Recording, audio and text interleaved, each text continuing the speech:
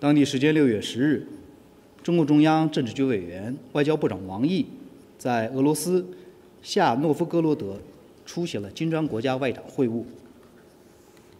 王毅外长在发言中表示，过去一年，金砖合作有亮度、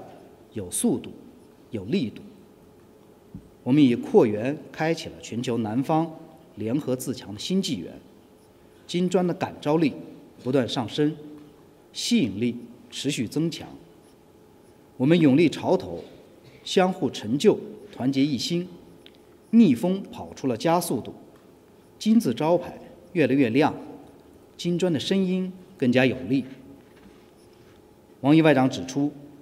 面对促进世界多极化和维护单极霸权两种力量的较量，面对经济全球化和逆全球化两种取向的碰撞，我们应顺应历史潮流，站在公道正义一边，做出正确抉择。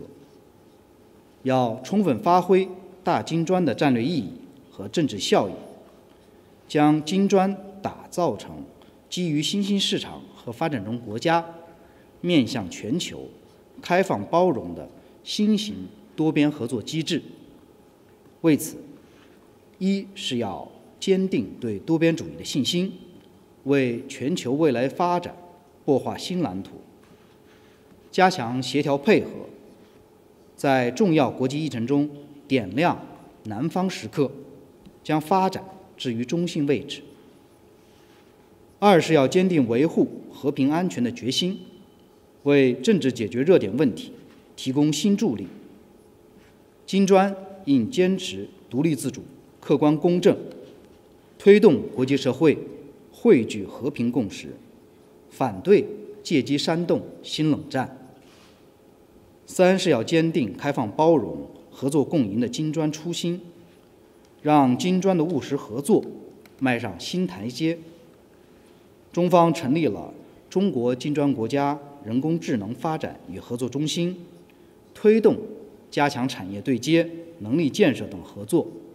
欢迎各方积极参与。与会各国就金砖金砖合作及国际地区热点问题深入交换意见，各方高度评价金砖机制的重要作用和扩员成果。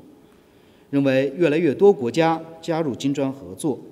加快了世界多极化进程，推动国际秩序更加公正合理，支持设置伙伴国。各方呼吁坚持多边主义，反对单边主义和保护主义，推动改革国际金融架构，加强和完善全球治理，